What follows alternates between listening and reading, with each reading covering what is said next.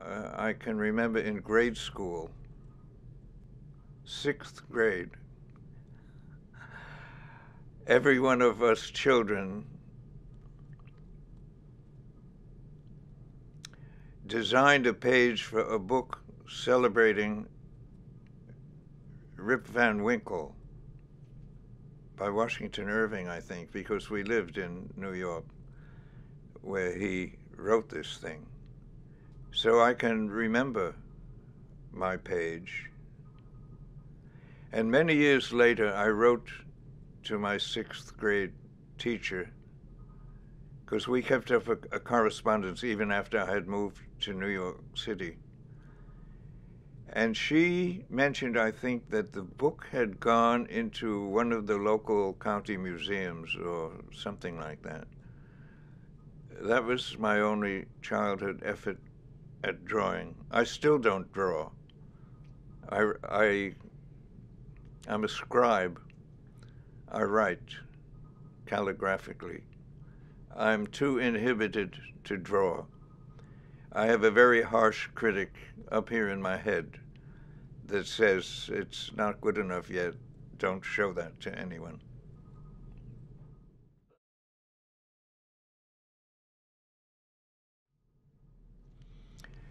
First day covers are envelopes with new stamps on them, canceled especially on the day that they are sold to the public.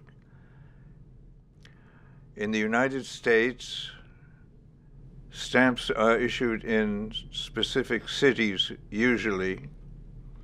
For instance, if a stamp is sold on the first day in San Francisco, it's usually canceled San Francisco, California, with the date and the inscription, first day of issue.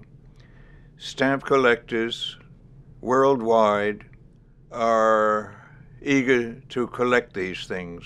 They have been bitten by the collecting bug, probably as children, and they eagerly await new stamps canceled first day of issue to add to their collection.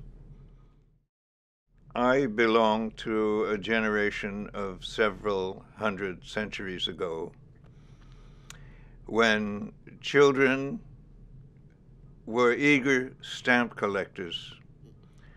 There was no television, there was only radio. There were movies, but you had to go out to the movie house. But a stamp collection was often a source of pride and joy to the child. Uh, my brother had his own collection, and I had mine, and we used to fight horrendously over who would get what stamp and whose was better looking. A lot of competition there. We knew what first day covers were. At the time, for many, many years, at that era, postage was three cents, and the stamp was always purple. The one cent stamp was always green, and the two cent stamp, I think, was red. This was a postal tradition that went back many, many years. And so there is there were a couple of stamps that were magenta that were hypnotic for me. I think it's when I first began to notice and love that color. Fast forwarding now,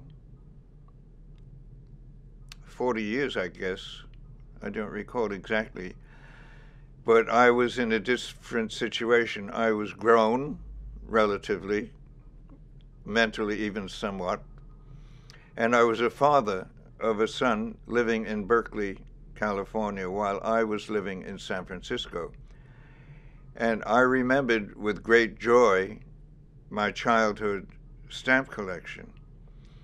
Also, I was working at that time part time in the post office at Rincon Annex in downtown San Francisco. And in the lobby of the building, every month or so, there would be a poster on the wall announcing with a picture and where to send away for it the new stamp of the month. And then at the time, the postage was six cents, if you can believe that. And I remember sending these two blank envelopes with 12 pennies glued onto a strip to the postmaster of the city mentioned in the poster. And then several weeks later, I would receive at my home a first day cover with that stamp and a cancellation. And I knew at the same time Stephen would receive one at his home. For about the first 10 years, all of the covers were almost identical. At the time, I had learned only italic and uncial alphabets, and so I used them. Later on, there was a turning point when I realized the image on the stamp was distinctive enough for me to begin designing these in terms of that image. When I was living in San Francisco, and then after my son had moved back to Britain, the airmail postage to the UK was more than the airmail postage, or rather than local postage. So I would arrange his stamps always in a block of four on the upper right hand corner of the envelope. And I remember a specific issue, the Brooklyn Bridge in 1983. I had my envelope with the single stamp next to his envelope with a block of four, but his was so much better looking with the block of four that from then on I always used a block of four on my own envelopes. I had behind me about 10 years of calligraphy lessons, and so I used broad steel pens once in a while a copperplate pen nib, and I used whatever ink I had. As we all of us local calligraphers became more sophisticated, I began using turkey or goose quills after I had learned how to make them.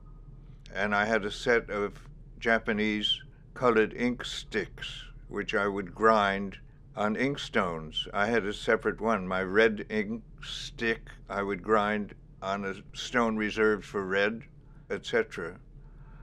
Uh, for black, I stayed with a very important liquid Japanese sumi ink made by the firm of Boku Eki, which I still have probably a half bottle left. When it came to the exotic colors like gold and silver, I found that real gold and real powdered silver did not work, so I used imitation pan colors for the gold, and for the silver, I still have a jar of powdered Pelikan silver ink.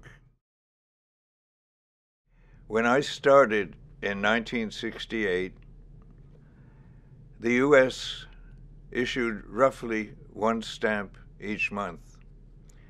And in Britain, which I have a large collection of, they were also similarly quite limited.